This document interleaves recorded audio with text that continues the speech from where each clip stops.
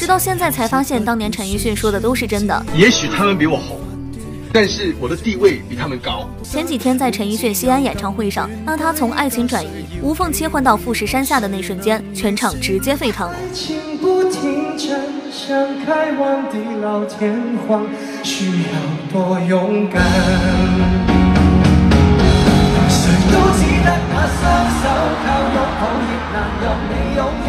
要不怎么说你连前奏都没听完，怎么知道这是富士山下还是爱情转移呢？某次陈奕迅提到女儿追星的问题，他脱口而出的那些名字，不仅让粉丝捏了一把汗，在如今流量当道的娱乐圈，分分钟就能把你怼上热搜。就像当年伍佰在演唱会上说了一段话，就直接就被挂上了热搜。唱了一辈子的歌，他的人很红。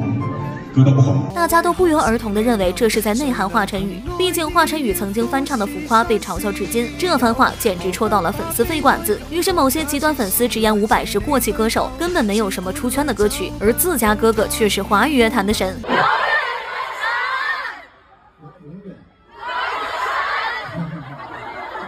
但陈奕迅的这番话却彻底拿捏了流量为王的娱乐圈。不管你是王一博还是范丞丞，见到我都得喊声哥哥。而这几家粉丝不仅没有喊打喊杀，还都一致的表示伊森哥的地位确实很高。甚至范丞丞本人还亲自回应，表示陈奕迅是自己的偶像。伊森哥的女儿说一下，你爹才是最厉害的。